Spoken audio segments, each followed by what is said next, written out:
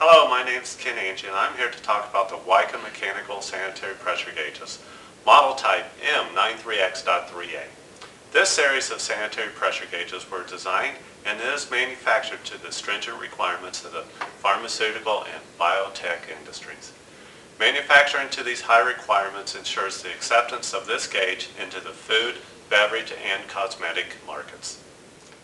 This sanitary gauge is available with a 2.5 and 4 inch nominal case size. The sanitary connection can be lower or back mount. The process connection ranges from an inch and a half tri-clamp up to a 4 inch tri-clamp and additional sanitary process connection types are available. WIKA didn't take a standard gauge off the shelf and convert it into a sanitary gauge.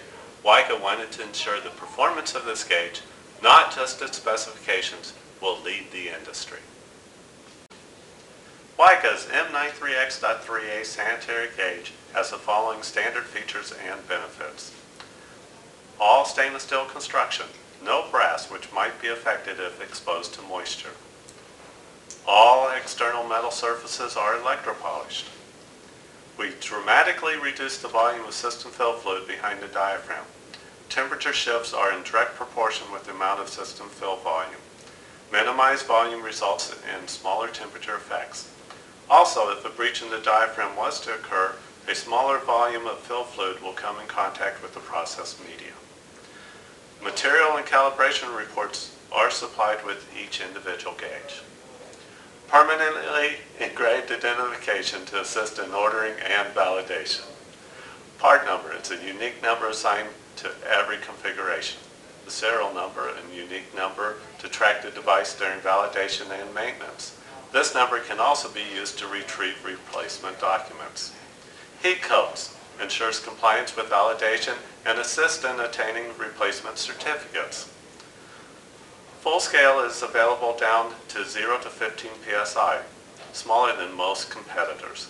Converting from a 0 to 30 psi gauge down to a 0 to 15 psi improves the gauge accuracy by a factor of 2.